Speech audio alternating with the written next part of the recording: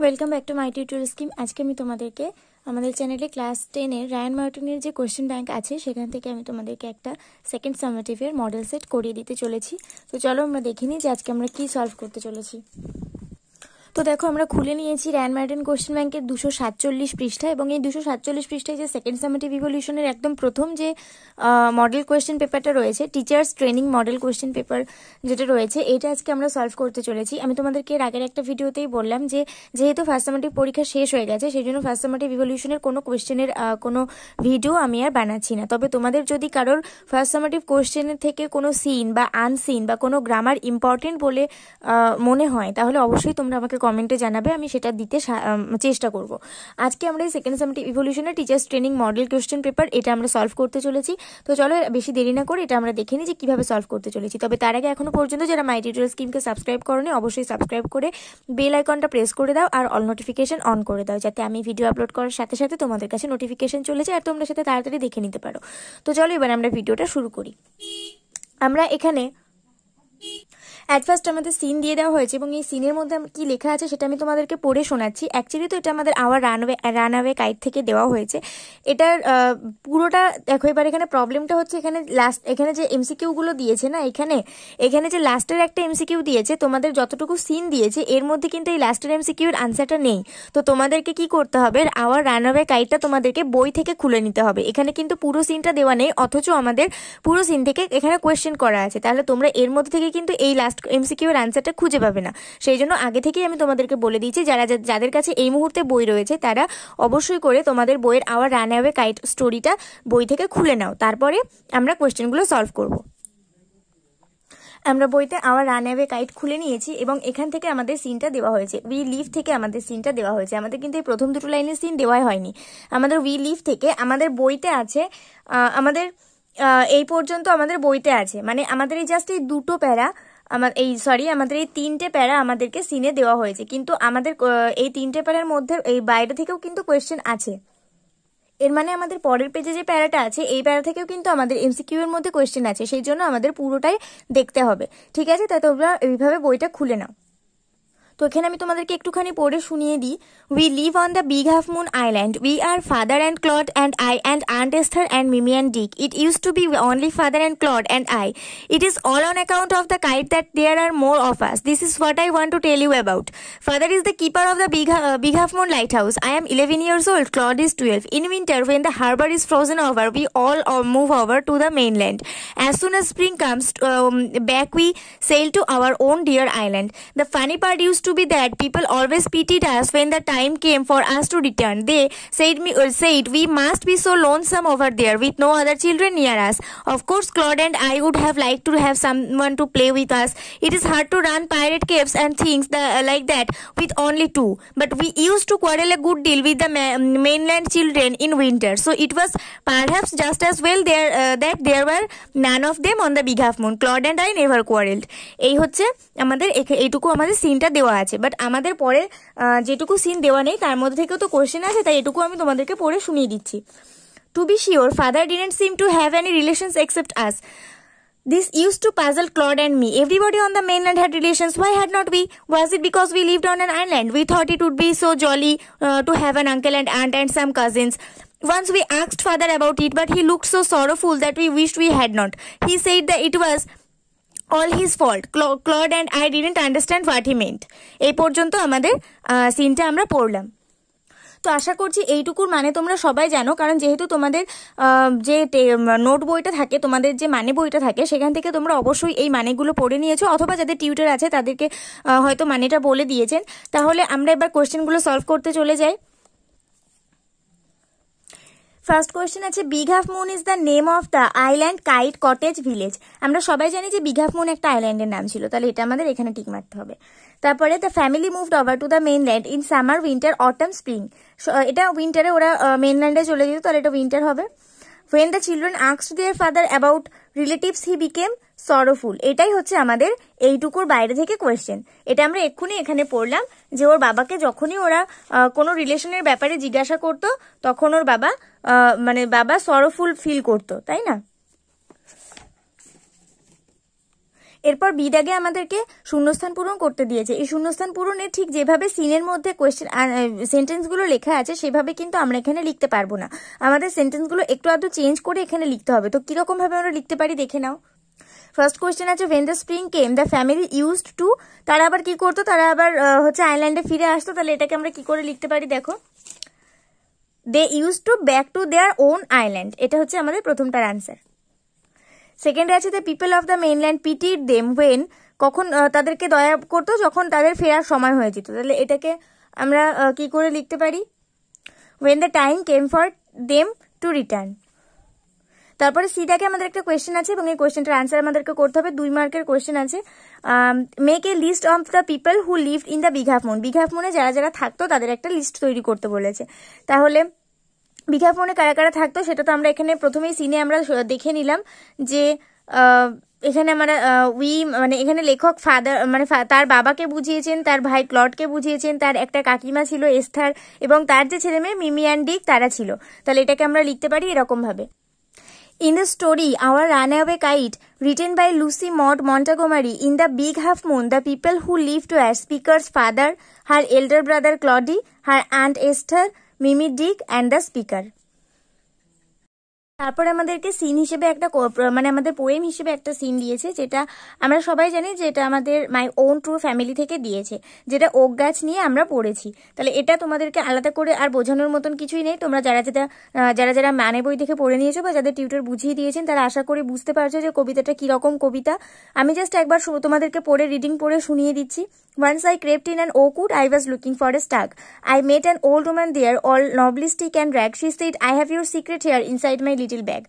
Then she began to cackle and I began to quake. She opened up her little bag and, and it came twice awake. Surrounded by a staring tribe and me tied to a stake, they, uh, they said, We are the oak trees and your own true family. We are chopped down, we are torn up. You do not blink an eye. Unless you make a promise now, now you are going to die. এটা এইটুকু হচ্ছে আমাদের সিনের কবিতাটা। এবার আমরা এমসিকিউগুলো solve করে ফেলব। In the oakwood the poet met with a or an old woman old man elephant hog এখানে আমরা সবাই দেখলাম যে উনি আমাদের কবি একজন ওল্ড ওম্যানের সঙ্গে দেখা করেছিলেন। তাহলে এখানে ওল্ড ওম্যান হবে, আমাদের এটা হবে right answer the poet's own tree family were the oak trees এখানে দেখলাম যে ওক গাছরা কবিকে বলেছে যে we are the oak trees and your own true family তাহলে আমাদের ওক ট্রিজটাই রাইট অ্যান্সার হবে।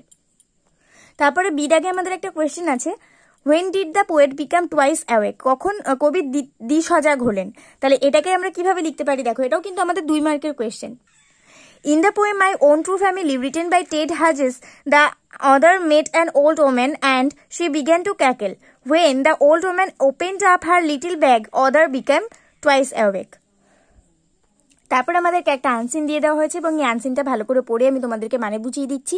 খুব সুন্দর সহজ একটা সুন্দর আনসিন। এখান থেকে কোয়েশ্চেনগুলো সহজেই তোমরা করতে পারবে। দেখো আমি পড়ে তোমাদেরকে বুঝিয়ে দিচ্ছি। Whales, the largest animals earth, belong to a family of mammals known as cetaceans. তিমিরা যারা আর কি পৃথিবীর বৃহত্তম প্রাণী তারা হচ্ছে আমাদের স্তন্যপায়ী স্তন্যপায়ীদের পরিবারের মধ্যেই পড়ে কিন্তু তারা তিমি নামেই পরিচিত। Unlike fish whales are warm blooded animals মাছেদের মাছেরা যেরকম ঠান্ডা রক্তের প্রাণী হয়, মাছেদের মতন কিন্তু ওরা ওরকম ঠান্ডা রক্তের প্রাণী নয়, তিমিরা কিন্তু খুবই গরম রক্তের প্রাণী। They breathe air and give birth to their offspring তারা নিঃশ্বাস নিতে পারে এবং তাদের সন্তান জন্ম দিতে পারে। অফস্প্রিং মানে হচ্ছে সন্তান। Scientist believe that they evolved from land animals with four legs although they are now supremely adapted to underwater life. আমাদের যে বিজ্ঞানীরা আছেন, তারা বিশ্বাস করেন যে এই তিমিরা, তারা চার পায়ে হাঁটাচলা মানে এই যে আমরা যারা যারা আমরা স্থল মানে আমরা যারা স্থলভাগে থাকি চার পায়ে যারা হাঁটাচলা করতে পারে, যে সমস্ত প্রাণীরা, তাদের কিন্তু তাদের মতনই কিন্তু তিমিরাও তাদের মতন কিন্তু তিমিরাও, কিন্তু তিমিরা একটা আন্ডার ওয়াটার লাইফটাই তাদেরকে মানে আন্ডার ওয়াটার লাইফের মধ্যে তাদেরকে ধরে নেওয়া হয়েছে, যে তিমিরা মানে জলের নিচেতেই থাকবে। Whales are difficult animals to study because they are long lived তিমিরাই হচ্ছে সব থেকে কঠিন প্রাণী মানে পর্যবেক্ষণ করার জন্য, কারণ তারা অনেক অনেক দিন পর্যন্ত বাঁচে। Reproduce slowly and most of them are migratory তারা খুব তাড়াতাড়ি বেড়ে ওঠে এবং খুব মানে খুব কমই তাদের বয়সটা ক্ষরণ হয় এবং তারা পরিযায়ী হয়। সাধারণত এক জায়গা থেকে আরেক জায়গায় যেতে পারে। Most whales live and an average of forty years বেশিরভাগ তিমি কিন্তু প্রায় মানে গড় চল্লিশ বছর পর্যন্ত বেঁচে থাকে। Bow head whales are generally long lived যারা বো যে বো হেড যে তিমিগুলো হয়, তারাই কিন্তু সব থেকে বেশি বাঁচে।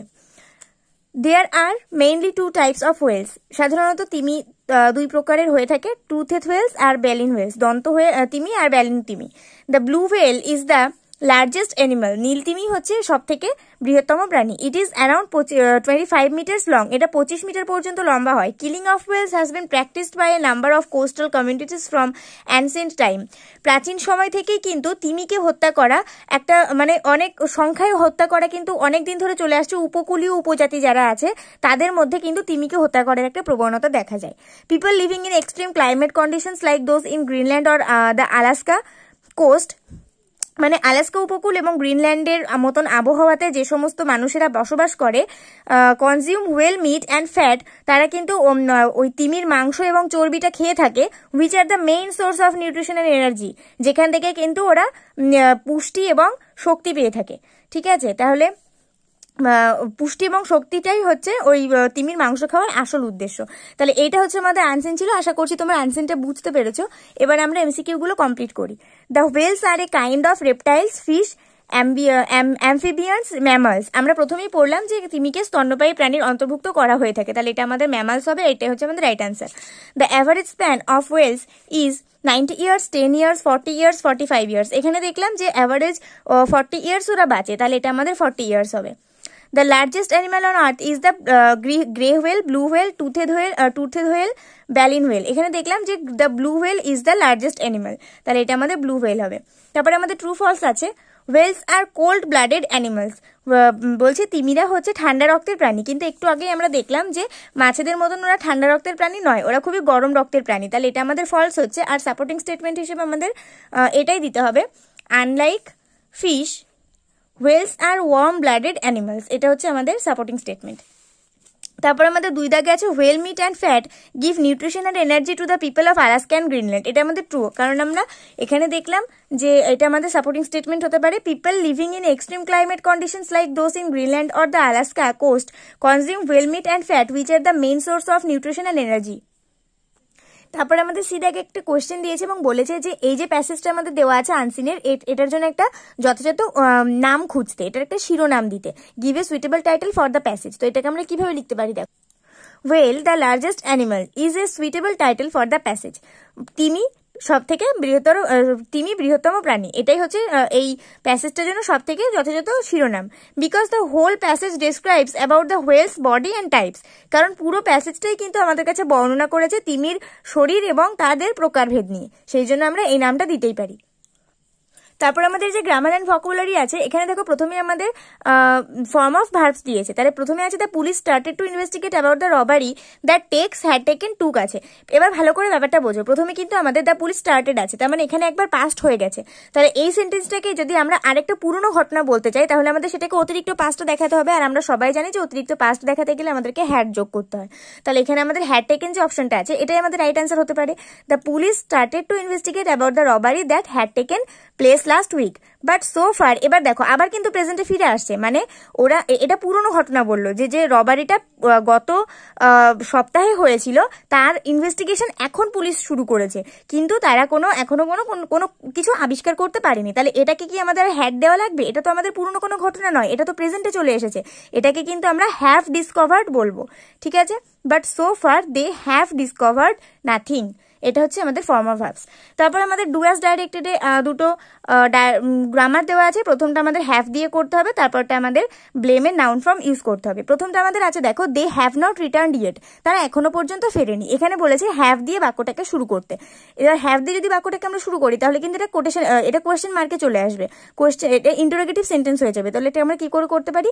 হ্যাভ দে নট এটাকে তাহলে আমরা করতে পারি have they not return yet তারা কি এখনও ফেরেনি? এটাই হচ্ছে আমাদের answer have they not return yet এটাই দুই দাগে আছে Surabhi blamed her luck for her travels এখানে ব্লেমটা ভার্বে আছে এবং এখানে বলেছে নাউন ফর্ম ইউজ করতে। আমরা সবাই জানি যে কোনো ভার্বের নাউন ফর্ম ইউজ করতে গেলে আমাদের তার আগে একটা ভার্ব নিয়ে আসতে হয়। হয় মেড নইলে গেভ এরকম কিছু নিয়ে আসতে হবে। তো এটা যেহেতু পাস্ট টেন্সে আছে, তাই জন্য আমাদেরকে মেড আর গেভের মধ্যে যে কোনো একটা নিয়ে আসতে হবে। এবার দেখো, এখানে মেড আমরা দিতে পারব না, কারণ তাহলে বাক্যটা কেমন একটা হয়ে যাবে। তাহলে এখানে আমরা যদি গেভ দিই, তাহলে আমাদের বাক্যটা ঠিকঠাক হয়ে যাবে। Surabhi gave a blame to her luck সবসময় এখানে একটা টু দেবে। Surabhi gave a blame to her luck for her travels এই যে টুটা আমি দিয়েছি, এই টুটা যদি তোমরা না দাও, তাহলে কিন্তু এই আনসারটা পুরোটাই ভুল হয়ে যাবে, ঠিক আছে? তাহলে এখানে সুরভি তার ভাগ্যকে দোষটা দিল তার কষ্টের জন্য। এবার কিন্তু আমাদের এটা নাউন ফর্ম হলো। তারপর আমাদের ফ্রেজাল ভাবস দিয়েছে দুটো। প্রথমে আছে রিড দ্য প্যাসেজ কেয়ারফুলি তাই আমরা সবাই জানি রিডের ফ্রেজাল ভাবস হচ্ছে গো থ্রু আর যেহেতু এখানে টেন্সের কোনো পরিবর্তন নেই, তাহলে আমরা এখানে গো থ্রুই লিখতে পারি। Go through the passage carefully Rabindranath Tagore established এই ইউনিভার্সিটি শান্তিনিকেতন। এস্টাবলিশ যেহেতু পাস্ট টেন্সে আছে, তাহলে আমাদের ফ্রেজাল ভাবটা পাস্ট টেন্সে হবে। কিন্তু এস্টাবলিশের ফ্রেজাল ভাবস হচ্ছে সেটিন তো সেটিনের সেটের তিনটে ফর্মে কিন্তু এক। সেট সেট সেট তাই জন্য আমাদের এটা কোনো চেঞ্জ হচ্ছে না। তাহলে আমাদের রবীন্দ্রনাথ ঠাকুর সেটিনে ইউনিভার্সিটি শান্তিনিকেতন। এটাই থাকছে। তারপরে আমাদের ভকুবুলারি দেওয়া আছে। ভকুবুলারিতে ফার্স্ট বলেছে বেবি অফ অ্যান অ্যানিম্যাল কোনো একজন প্রাণীর বাচ্চা তাকে যেটা বলা হয় সেটা এখানে বসাতে হবে। তো আমরা এখানে দেখেছিলাম, আমরা এখানে দেখেছিলাম যে অফস্প্রিং কথাটা এখানে আছে। অফস্প্রিং মানে হচ্ছে সন্তান। তো আমরা বেবি অফ অ্যান অ্যানিম্যালের পরিবর্তে অফস্প্রিং কথাটা কিন্তু বসাতে পারি। তারপরে আমাদের আছে হ্যাবিট অফ চেঞ্জিং প্লেসেস মানে অন্য অন্য জায়গায় ঘুরে ঘুরে বেড়ানোর বা জায়গা পরিবর্তন করার একটা স্বভাব। তো এটার এটার পরিবর্তে আমরা কি লিখতে পারি? এখানে যে মিগ্রাটর, মিগ্রাটরি যে আমরা যে ওয়ার্ডটা পেয়েছিলাম, এটার মানে কিন্তু পরিযায়ী। আর পরিযায়ী মানে হচ্ছে এক জায়গা থেকে অন্য জায়গায় ঘুরে বেড়ানোর স্বভাব। তো আমরা ওই ওই যে কথাটা ওখানে দেওয়া আছে, তার পরিবর্তে আমরা এই মিগ্রেটরি কথাটা ইউজ করতেই পারি। তারপর আমাদের একটা রাইটিং দেওয়া আছে যেটা দশ মার্কের, তো এখানে কি বলা হয়েছে, দেখো suppose you want to celebrate teachers day in your school write a letter to the headmaster or headmistress to of your school seeking his or her permission to organise it you may use the following points এখানে আমাদের points দিয়ে দেওয়া হয়েছে programme time and request for granting your prayer এই এই পয়েন্টগুলো আমাদের নাও লাগবে এগুলো আমাদের নাও লাগতে পারে, তাই না? কারণ এগুলো আমাদের লাগবে না। কারণ আমরা সবাই জানি যে চিঠি কী করে লিখতে হয় ফর্মাল লেটার্স কী করে লিখতে হয়। তো দেখো, এই রাইটিংটা আমি সুন্দর করে সাজিয়ে নিয়েছি, তোমাদের জন্য ভালো করে দেখে নাও। প্রথমে টু দেবে টু দিয়ে কমা দেবে, তারপর নিচে যদি তোমাদের হেডমাস্টার হয়, তাহলে হেডমাস্টার লিখবে, আর যদি হেডমিস্ট্রেস হয়, তাহলে দ্য হেডমিস্ট্রেস লিখবে।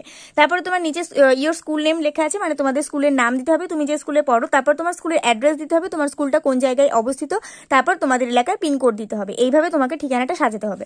তারপর আমাদের সাবজেক্ট হচ্ছে permission to celebrate teachers day ভালো করে দেখো টিচার্স ডে যে অ্যাপোস্ট্রফিটা সেটা কিন্তু আমি আর এর পরে দিইনি, আমি কিন্তু এস এর পরে দিয়েছি। আর তোমরা ম্যাক্সিমাম স্টুডেন্টরা হয়তো এটা জানো যে টিচার্স ডে এই যে টিচার্সের যে এই আমাদের যে অ্যাপোস্ট্রফিটা এটা আর এর আগে হয় না। এটা কিন্তু এস এর পরেই হয়, ঠিক আছে? এটা আমাদের সবসময় মাথায় রাখবে। কারণ এই বানানটা যদি ভুল করে ফেলো, তাহলে একটু নাম্বার কাটতে পারে। তারপরে আমরা লিখব রেসপেক্টেড স্যার অর ম্যাডাম যদি হেডমাস্টার হয়, তাহলে স্যার লিখবে। যদি হেডমিস্ট্রেস হয়, তাহলে ম্যাডাম লিখবে। I I would like to convey you on behalf of all the students of your school that we are planning to celebrate Teachers Day in our school. আমি আপনাকে জানাতে চাইছি যে আমাদের স্কুলে পড়া সব সব ছাত্রছাত্রীদের পক্ষ থেকে আমরা আমরা সিদ্ধান্ত নিয়েছি বা আমরা পরিকল্পনা করছি আমাদের স্কুলে শিক্ষক দিবস উদযাপন করব। If you kindly give us permission to do so যদি আপনি সত্যি আমাদেরকে এরকম কিছু করার অনুমতি দেন দেন we will organise a cultural function at school auditorium তাহলে আমরা যে স্কুলের অডিটোরিয়ামটা আছে, সেখানে আমরা একটা সাংস্কৃতিক উৎসবের আয়োজন করব। We would like to start our programme by felicitating you আমরা আপনাকে অভ্যর্থনা জানানোর মাধ্যমে আমাদের এই প্রোগ্রামটা শুরু করব। We request we request you to deliver a speech and garland the photo of doctor Sarvepalli Radhakrishnan আমরা আপনাকে অনুরোধ করব একটা বক্তৃতা দেওয়ার জন্য এবং আমাদের যে সর্বপল্লী রাধাকৃষ্ণন মহাশয়ের যে ফটোটা থাকবে সেটাকে মাল্যদান করার জন্য। After this there will be performances in which both students and teachers will take part তারপরে কিন্তু বেশ কিছু প্রতিযোগিতা থাকবে এবং বেশ কিছু অনুষ্ঠান থাকবে যেটার মধ্যে টিচার্স এবং স্টুডেন্ট সবাই মানে অংশগ্রহণ করতে পারবে। We wish to stage play based on Rabindranath Tagore's Tota Kahini আমরা চাইছি স্টেজে একটা নাটক আমরা আমরা নাটক একটা করব, সেটা হচ্ছে রবীন্দ্রনাথ ঠাকুরের তোতা কাহিনী নাটকটা আমরা করব স্টেজে we are all very keen to celebrate to the occasion আমরা সবাই খুব অধীর আগ্রহে আছি এই অনুষ্ঠানটা আমরা উদযাপন করব বলে। We hope you we hope you would give us your permission to organise it আমরা আশা করছি যে আপনি আপনার পারমিশন দেবেন আমাদের এই ব্যবস্থা করার জন্য। থ্যাংক ইউ তারপরে এখানে ইয়োর্স ওবিডিয়েন্টলি লিখে নিজের নাম লিখতে হবে। আর এখানে তোমার ক্লাস টেন তুমি যে সেকশনে পড়ো সেই সেকশনের নাম, তোমার রোল নাম্বার আর একটা যে কোনো ডেট বসিয়ে দিও। তো এইভাবে আমাদের রাইটিংটা শেষ হবে। তো আশা করছি আমাদের আজকের এই দুশো সাতচল্লিশ পেজের টিচার্স ট্রেনিং মডিউল কোশ্চেন পেপারে যে সমস্ত কোশ্চেনগুলো ছিল সেকেন্ড সামেটিভ ইভলিউশনে সেই সমস্ত কোশ্চেনগুলো আমি খুব ভালো করে তোমাদেরকে বোঝাতে পেরেছি। তবুও যদি কারও কোথাও বুঝতে অসুবিধা হয়ে থাকে, অবশ্যই আমাকে কমেন্টে জানাবে, আমি তার কনফিউশন ক্লিয়ার করে অবশ্যই তাকে বুঝিয়ে দেবো। অন্য কোনো বিষয় যদি ইম্পর্টেন্ট বলে মনে হয়, যে কোনো বই থেকে অবশ্যই আমাকে কমেন্টে জানাবে, আমি তোমাদেরকে সাহায্য করার চেষ্টা করব। আর আজকের ভিডিওটা যদি ভালো লেগে থাকে, অবশ্যই একটা করে লাইক করে দেবে এবং বন্ধুদের সঙ্গে অনেক অনেক শেয়ার করে দেবে যাতে তারাও তোমাদের মতন এত ভালো করে ইংলিশ শিখতে পারে। আর আজকের ভিডিও এই পর্যন্ত, পরের ভিডিওতে দেখা হবে, ততক্ষণ পর্যন্ত সবাই ভালো থাকো, সুস্থ থাকো, আর মন দিয়ে পড়াশোনা করতে থাকো।